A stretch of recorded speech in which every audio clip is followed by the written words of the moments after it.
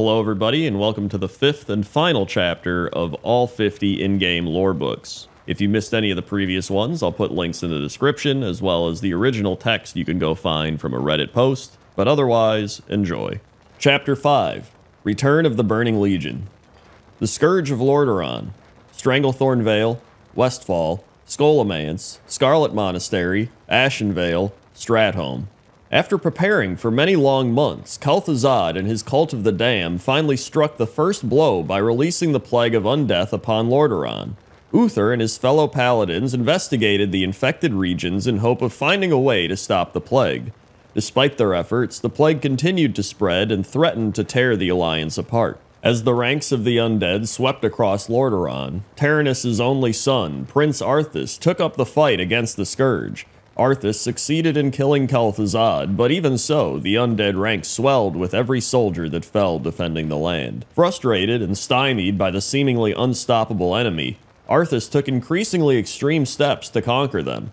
Finally, Arthas's comrades warned him that he was losing his hold on his humanity. Arthas's fear and resolve proved to be his ultimate undoing. He tracked the plague source to Northrend, intending to end its threat forever. Instead, Prince Arthas eventually fell prey to the Lich King's tremendous power. Believing that it would save his people, Arthas took up the cursed rune blade, Frostmourne. Though the sword did grant him unfathomable power, it also stole his soul and transformed him into the greatest of the Lich King's Death Knights. With his soul cast aside and his sanity shattered, Arthas led the Scourge against his own kingdom. Ultimately, Arthas murdered his own father, King Terenas, and crushed Lordaeron under the Lich King's iron heel. Sunwell, The Fall of Quel'Thalas, Stranglethorn Vale, Ashenvale. Though he had defeated all of the people he now saw as his enemies, Arthas was still haunted by the ghost of Kel'Thuzad. The ghost told Arthas that he needed to be revived for the next phase of the Lich King's plan. To revive him, Arthas needed to bring Kel'Thuzad's remains to the mystical Sunwell hidden within the High Elves' eternal kingdom of Quel'Thalas. Arthas and his scourge invaded Quel'Thalas and laid siege to the elves' crumbling defenses. Sylvanas Windrunner, the Ranger General of Silvermoon, put up a valiant fight, but Arthas eventually eradicated the High Elf army and battled through to the Sunwell. In a cruel gesture of his dominance, he even raised Sylvanas' defeated body as a banshee, cursed to endless undeath in the service of Quel'Thalas' conqueror. Ultimately, Arthas submerged Kel'Thuzad's remains within the holy waters of the Sunwell.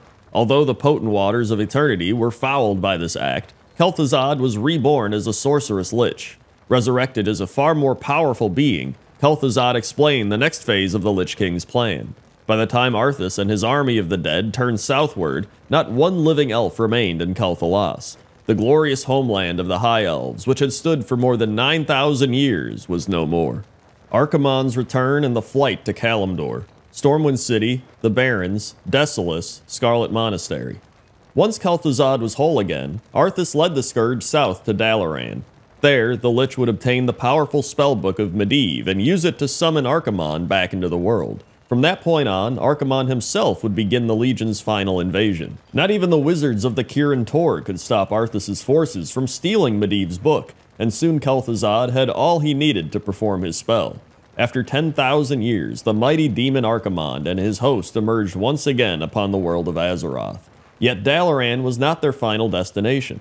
Under orders from Kil'jaeden himself, Archimonde and his demons followed the undead scourge to Kalimdor, bent on destroying Nordrassil, the World Tree. In the midst of this chaos, a lone mysterious prophet appeared to lend the mortal races guidance. This prophet proved to be none other than Medivh, the last guardian, miraculously returned from the beyond to redeem himself for past sins. Medivh told the Horde and Alliance of the dangers they faced and urged them to band together. Jaded by generations of hate, the orcs and humans would have none of it. Medivh was forced to deal with each race separately, using prophecy and trickery to guide them across the sea to the legendary land of Kalimdor. The orcs and humans soon encountered the long-hidden civilization of the Kaldorei. The orcs, led by Thrall, suffered a series of setbacks on their journey across Kalimdor's barrens. Though they befriended Cairn Bloodhoof and his mighty Tauren warriors, many orcs began to succumb to the demonic bloodlust that had plagued them for years. Thrall's greatest lieutenant, Grom Hellscream, even betrayed the Horde by giving himself over to his baser instincts.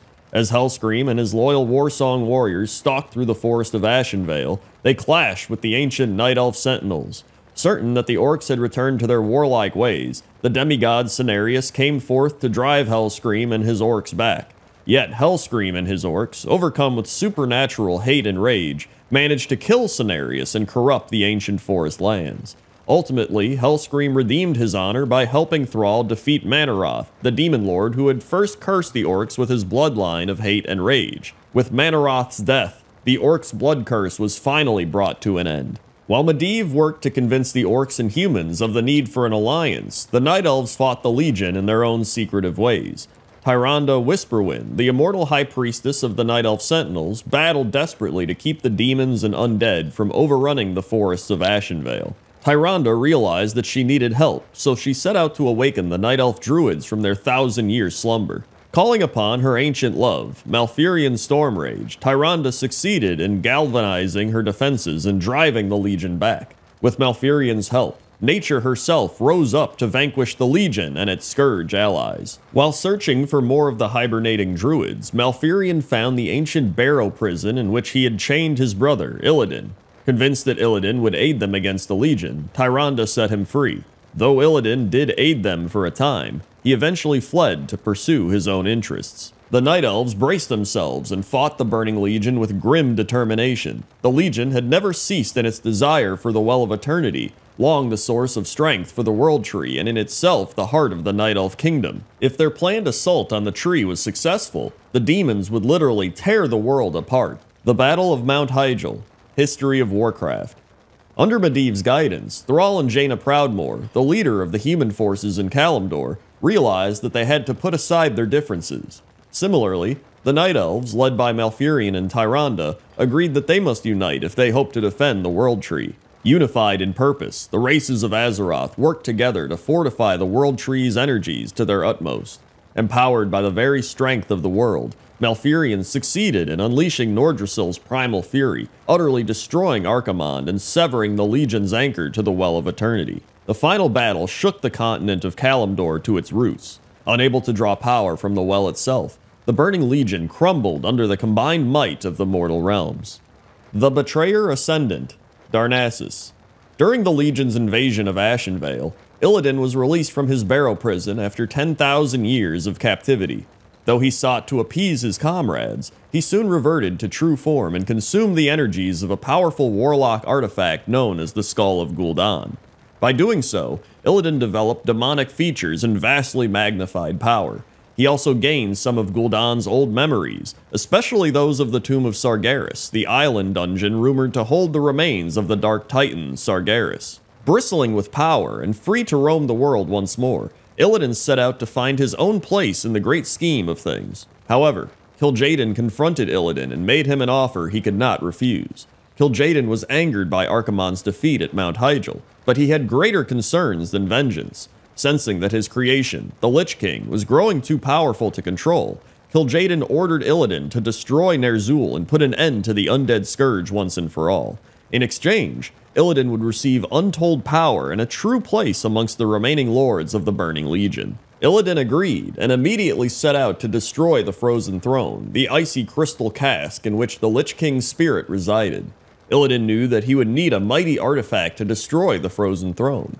Using the knowledge he had gained from Gul'dan's memories, Illidan decided to seek out the tomb of Sargeras and claim the Dark Titan's remains.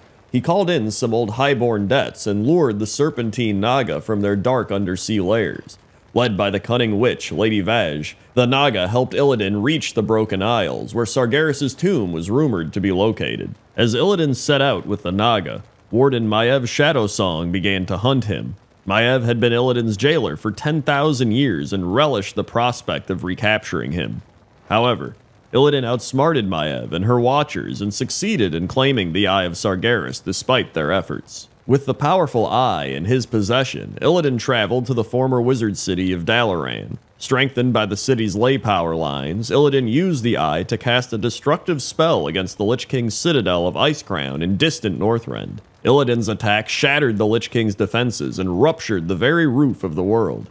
At the final moment, Illidan's destructive spell was stopped when his brother Malfurion and priestess Tyrande arrived to aid Maiev. Knowing that Kil'jaeden would not be pleased with his failure to destroy the Frozen Throne, Illidan fled to the barren dimension known as Outland, the last remnants of Draenor, the Orcs' former homeworld. There, he planned to evade Kil'jaeden's wrath and plan his next moves. After they succeeded in stopping Illidan, Malfurion and Tyrande returned home to Ashenvale Forest to watch over their people. Maiev, however, would not quit so easily and followed Illidan to Outland, determined to bring him to justice.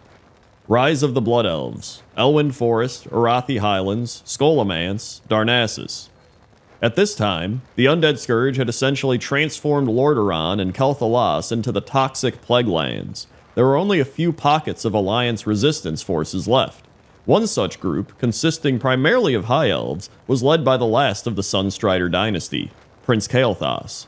Kael, an accomplished wizard himself, grew wary of the failing alliance. The High Elves grieved for the loss of their homeland and decided to call themselves Blood Elves in honor of their fallen people. Yet, as they worked to keep the Scourge at bay, they suffered greatly at being cut off from the Sunwell that had empowered them. Desperate to find a cure for his people's racial addiction to magic, Kael did the unthinkable. He embraced his people's highborn ancestry and joined with Illidan and his Naga in hopes of finding a new magical power source upon which to feed. The remaining Alliance commanders condemned the Blood Elves as traitors and cast them out for good. With no place left to go, Kael and his Blood Elves followed Lady Vashj to Outland to help contest the Warden, Maiev, who had recaptured Illidan. With the combined Naga and Blood Elf forces, they managed to defeat Maiev and free Illidan from her grasp. Based in Outland, Illidan gathered his forces for a second strike against the Lich King and his fortress of Icecrown. Civil War in the Plague Lands, Elwynn Forest, Stormwind City, Ironforge, Hillsbrad Foothills, Scarlet Monastery, Undercity, Stratholme. Ner'zhul, the Lich King, knew that his time was short. Imprisoned within the Frozen Throne, he suspected that Kil'jaeden would send his agents to destroy him. The damage caused by Illidan's spell had ruptured the Frozen Throne, thus the Lich King was losing his power daily. Desperate to save himself, he called his greatest mortal servant to his side, the Death Knight Prince Arthas. Though his powers were drained by the Lich King's weakness, Arthas had been involved in a civil war in Lordaeron.